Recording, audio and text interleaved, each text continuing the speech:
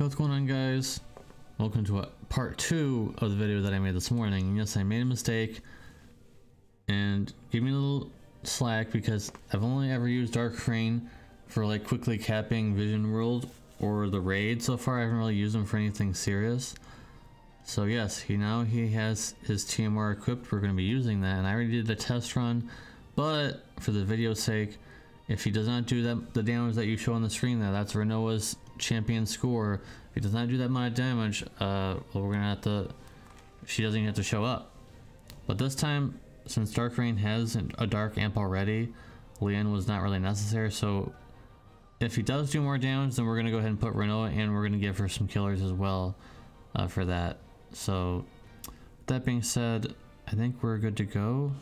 Um, the team is the exact same, everything is the same except his TMR is now available, so let's go. And now we're doing the missing step of quadcast and quadcasting his TMR. That's all we're doing this turn. So see on turn three. Alright. Let's go ahead and use Lightning's Lone Burst. And we're going to use the Human Killer buff, which is this. 150% Human Killer. Dark Imperil. Which is this. I always have to look at it because I uh, yeah. Summon Diabolos for extra. Quadcaster Tag Chainer. And let's check out his stats. It should be like 9, yeah, 9, 9.5. Wait for that to go through so it doesn't mess up anything. Yeah, I mean, it wouldn't probably wouldn't done anything, but just to be sure.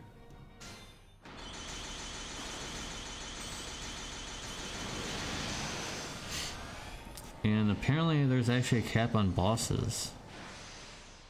But you can still see, obviously he did more than what's shown on the screen there, guys. So now we know actually has to show up. Uh, hopefully there's a Claim and Axstar uh, on my friends list that I can use. Unfortunately, JP Decide does not let you bring your own units to trials. But he was able to hit the damage cap now, guys, with his TMR. Sorry about sorry about the last video. He really he really needs that uh, on that turn two. He really needs that focus boost. Obviously, yeah, he. Um, but on the other side, to be fair, now we're gonna have to figure out. I'm gonna have to figure out a way to fit all four. Uh, all four apocalypses, at least three out of four, into that chain. It's gonna be really tough, but I'm gonna practice until I get it right, guys. So now what has to come in. All right, let's go. Alright, I actually had to set up my own Dark Knight Leon, so this is mine on my alt account. So Dark Knight Leon has nothing on. Just he's just there for the dark amp. So actually this this build will be slightly improved because I don't have burst damage on her because that's like a like a thing that I just assume that they need burst damage. She doesn't need any at all.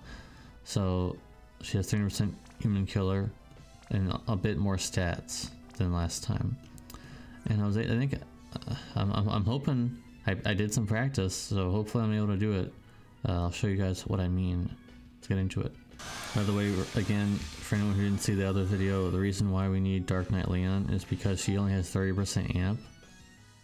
And the reason why Rain didn't need it because his is 50. So actually there's a there's a 5% discrepancy in terms of that situation. So turn one summon Diabolos. Turn 2, use her LB for the mod buffs and also the store stack. And then turn 3, we're going to do all the usual stuff, the Dark Imperil, the Human Killer, although the last one didn't have Human Killer, but this time it does, this time it will. Lightning's, Lightning's in the first there.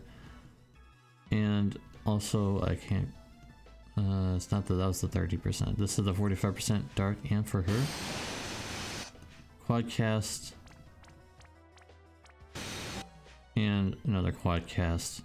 And here's the trick that I, now maybe different on this boss, but when I was practicing, it was eight and, I don't know how you, how do you do half of a second, but eight and a half seconds. I guess you'll just have to do it on instinct.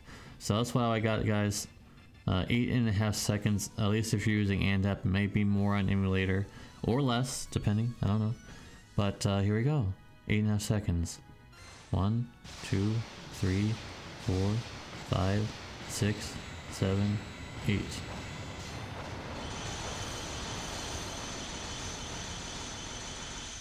We fit them all in? I, I, I, I think that last one maybe.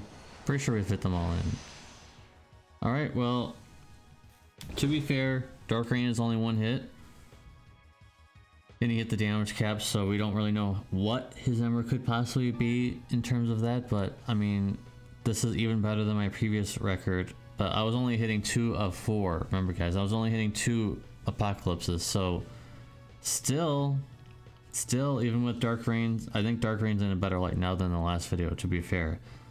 Uh, he really needs that, he really needs his TMR, and that sucks, but at the same time, at the same time, uh, he does have 200% killer, so as long as you're only fighting like one, maybe two races, you'll probably still be able to build him pretty well. If you're fighting anything beyond two races, uh, bit, bit of a struggle with that.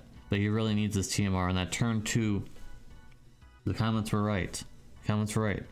And uh, I made this video to correct that mistake. So apologies for that last video. That was, I thought it was pretty well done, but it was not even close. This this video is definitely uh, much better than the last one.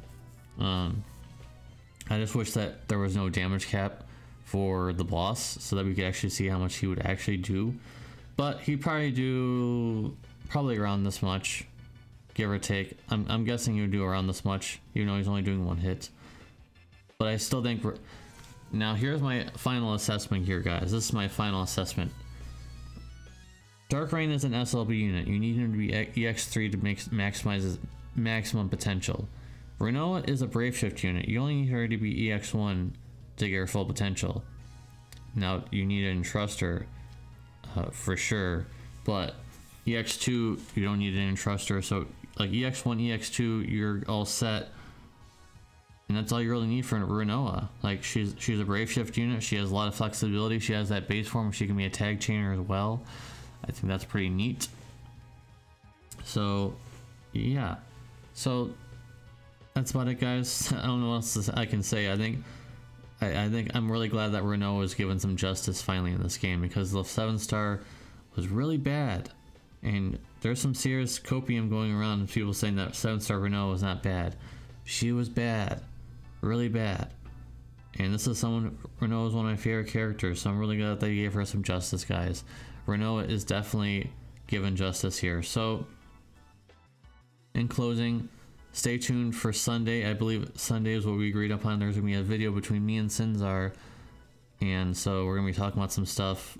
I don't want to go into a whole bunch of detail on it because uh, I want that part to be a surprise, but I want not to be surprised about the collaboration. So stay tuned for that. Make sure you subscribe to his channel if you're not already. For some reason, if you're not already, make sure you subscribe to my channel and uh, enjoy the collaboration on Sunday. But I'll still be making videos before then, of course. But I just want to make this now. Anyways, I'm stop rambling. Appreciate you. Peace.